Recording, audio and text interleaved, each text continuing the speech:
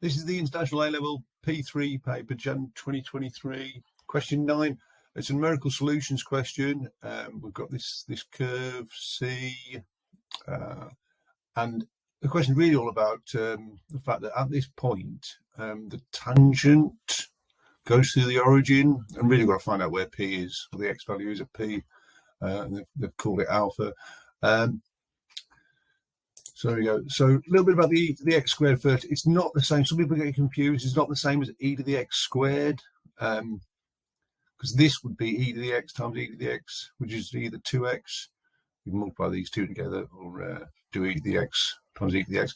Uh, if I put 3 in for x here, this would be e, e to the power of 9, and this would be e cubed times e cubed, which would be e to the power of 6. Um, so they're not the same. Uh, right, so we've got find y by the x to start off with. Um, so if I write it in this form, and I can use the chain rule, uh, so the dy by dx, I'll put the half in front, uh, and then I'll have that bracket to the power of 1 less, so minus half, and then I need to multiply by the bracket differentiated. Uh, don't need to worry about 3, but uh, e to the x squared differentiated is e to the x squared times 2x. Um, so I'll have uh, 8x in front and then e to the x squared. Uh, I'll simplify this a little bit. I've got 2 on the bottom and 8 on the top. So 4x e to the x squared. Is that bracket the power of minus a half? That'll do for the two marks. Uh, you could write it like this with um, you've got a negative index there, put it on the bottom, or even with the square root sign, which would be my, my preferred form. Um, so we've got y, got dy by dx. Uh, it says point P uh, and it's got uh, x coordinate alpha, and the tangent says through P goes to the origin, show that x equals alpha is a solution of that equation. So I'm using x's rather than alphas. Um, now at P, the, uh, the dy by dx is equal to this. That's the gradient of P. But I can also work the gradient of this line out by doing uh, the y step over the x step. So that y divided by that x gives me the um, gives me the gradient as well, and that's going to be the same as the dy by dx um, at p. Uh, the y is uh, is this, and the x well is just x. Um, so uh, then rearranging this into that form, there's no fraction in here, so I need to get rid of the fraction. So I'll put the x up here, get 4x squared e to the x squared, which I've got there, and I put this up here, um, which means I'll just have what's under the square root sign because I've got a square root of that or the square root. And then I'll just take these two terms over to give me what uh, they asked for.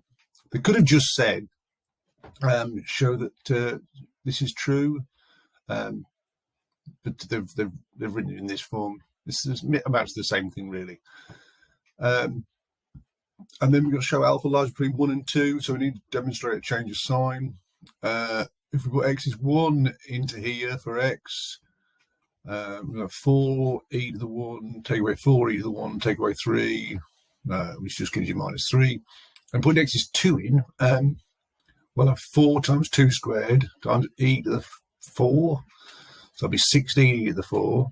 And then we'll have uh, 4 e to the 4, take away 3, which is 12 e to the 4, take away 3.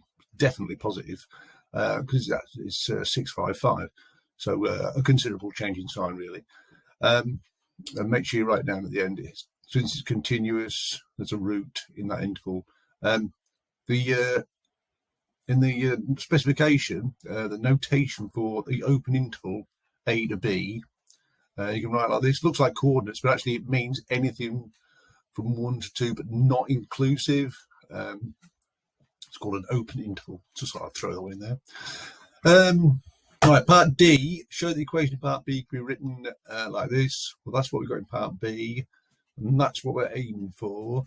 Um, now, if we if we look, there's there's some instances instances of x here, but if I try to make those the subject, um, I'd end up with some ln's, and I don't want that.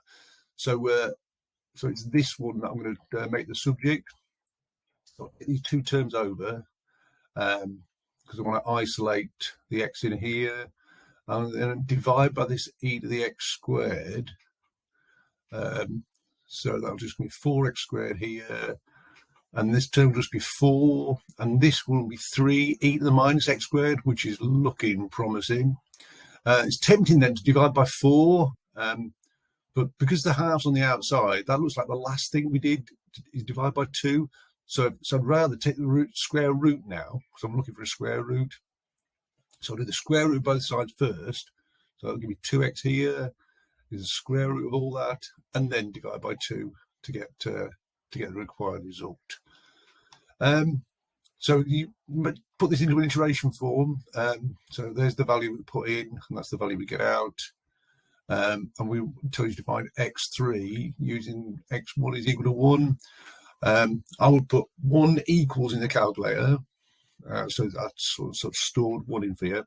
And then type in a half, the square root of 4 plus 3 e to the minus, then answer squared. Uh, you should get 1.129 for that. Uh, and then uh, and you can press equals again to get the x3 uh, and that's 1.0997 to four decimal places and then we want that, uh, an accurate value for alpha. So just press equals loads and those times till the answer stops changing. And uh, you should get 1.1051